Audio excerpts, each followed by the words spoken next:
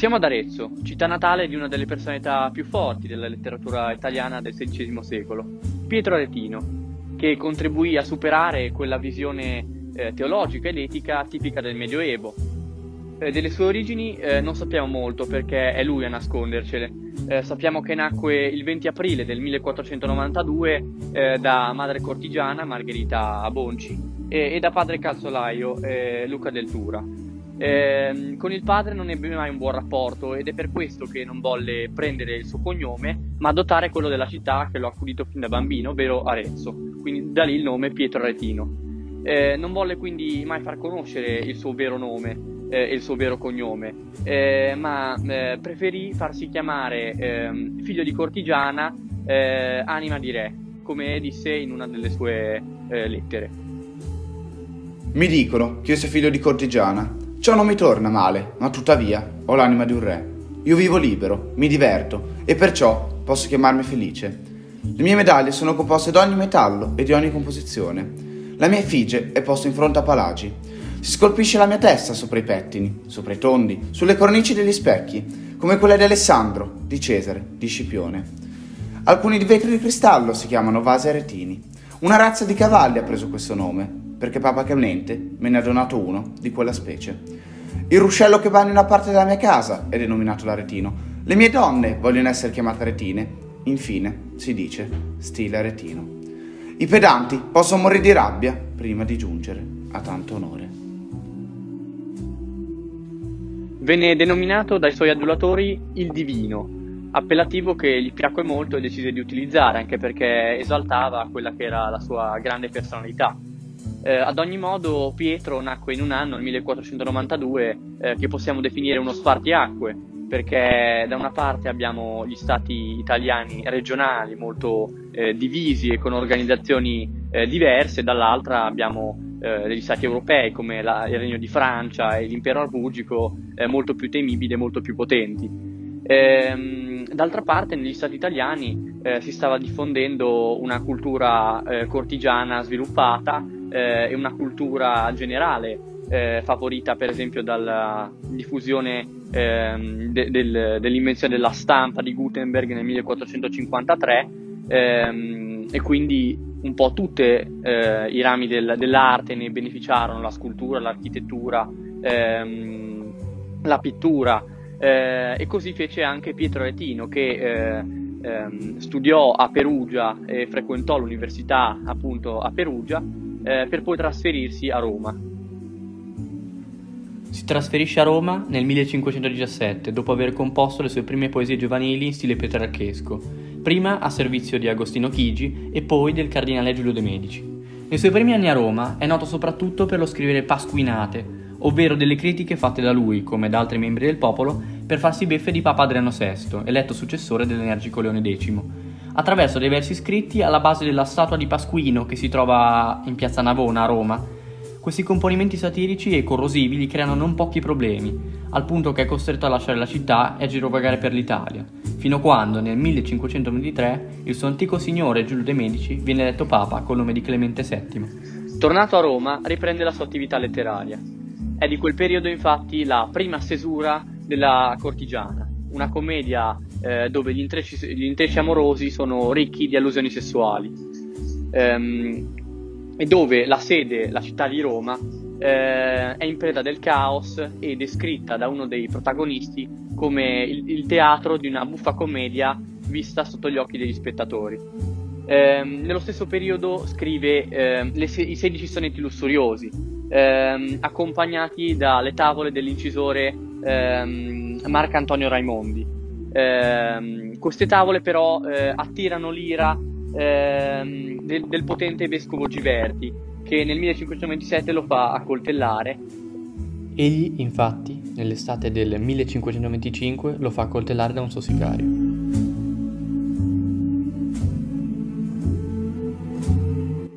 L'Aretino sopravvive a stento e in quell'anno decide di abbandonare Roma per sempre.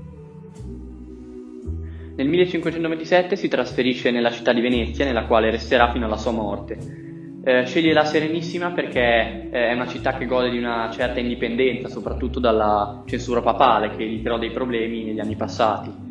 Eh, ma soprattutto per trovare la sua indipendenza per quanto riguarda eh, i suoi guadagni e il suo stile di vita. Infatti puntava eh, a vivere eh, solamente con i guadagni delle proprie opere e Venezia da questo punto era uno dei eh, maggiori centri di diffusione di, di, libri di stampa in Europa e in Italia.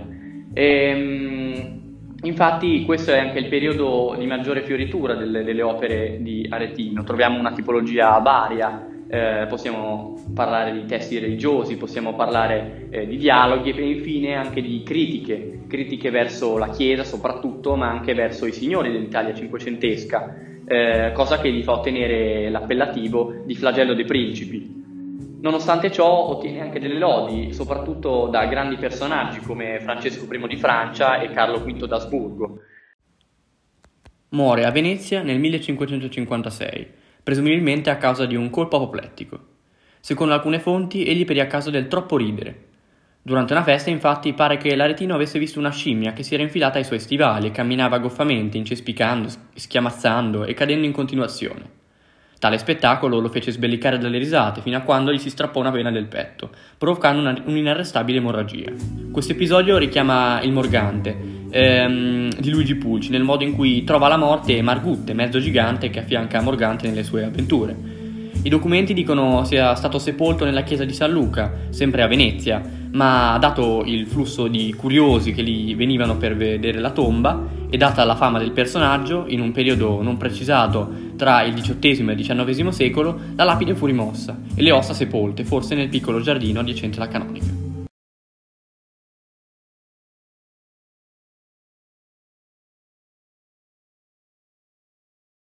Adesso lascio la parola al nostro esperto di letteratura rinascimentale, Leonard Bortolot, che ci parlerà delle sue opere.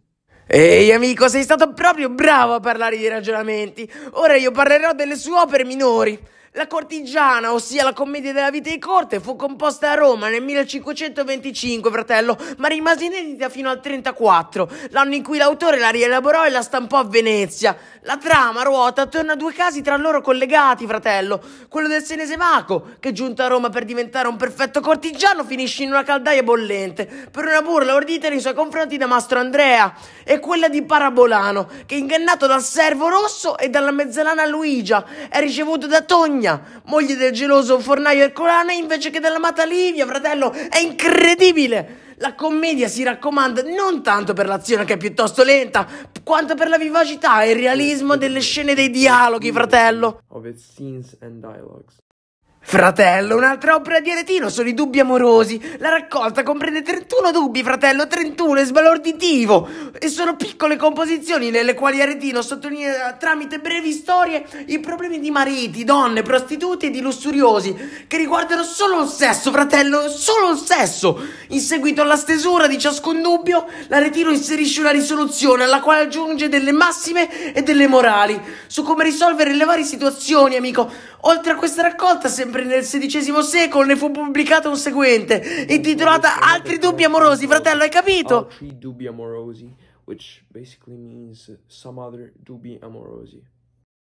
Fratello Aretino scrive anche i sonetti lussuriosi, che sono una raccolta sfondo erotico, risalenti al 1526, amico. L'opera consiste in due libri che raccolgono rispettivamente 16 e 13 composizioni, fratello. I sonetti lussuriosi, in due libri, sono sonetti ispirati alle incisioni, quasi pornografiche, amico, di Marcantonio Raimondi, sui disegni di Giulio Romano, una raccolta di 16 immagini che ritraggono posizioni sessuali per il quale Aretino compose i sonetti per accompagnare i lavori, amico. I modi uscirono nel 1527, presentavano sia i testi poetici che le incisioni, fratello.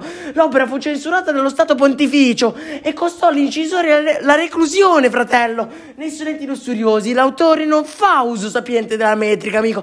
La struttura dell'endecasillabo può essere messa a rischio, così come il ritmo. I personaggi che vivono situazioni sono anziani, giovani, divinità come Marte, Venere, Giove. Il poeta stesso è dannatamente incredibile, fratello. Nelle poesie è possibile riscontrare molte parti dialogate. In conclusione, si tratta di composizioni pregevoli che evidenziano lo sforzo del poeta di creare situazioni aventi la proprietà descrittiva. Ma spesso capita che i sonetti si inceppino. L'autore ripropone le stesse immagini, le stesse figure, rendendo sterile l'ispirazione e la resa visiva, fratello. Fratello, non ho finito, diamine. Manca l'Atalanta. Una commedia divisa in cinque atti di ispirazione terenziana e plautina, fratello. Fu commissionata da retino dalla compagnia veneziana di Sempiterni, amico. E fu rappresentata a Venezia nel 1542, amico. 1542. Con le scenografie del Vasari. La scena si svolge a Roma e narra la storia di una moderna Taide, Talanta, corteggiata da quattro uomini di diversa età, Quattro, amico, quattro! E condizione sociale diversa. Il giovane Orfinio, il vecchio Messer Vergolo, che è veneziano, amico, veneziano. L'anziano Tinca, napoletano. E Armileo, che è romano, che finge di amarla per frequentare la sua casa, dove in realtà vive la schiava Stellina, amico, la fanciulla di cui è re- realmente innamorato. Dopo rapimenti, fughe, prigioni, travestimenti e un'annizione finale. Talanta concederà il suo amore disinteressato al giovane Orfinio, fratello incredibile.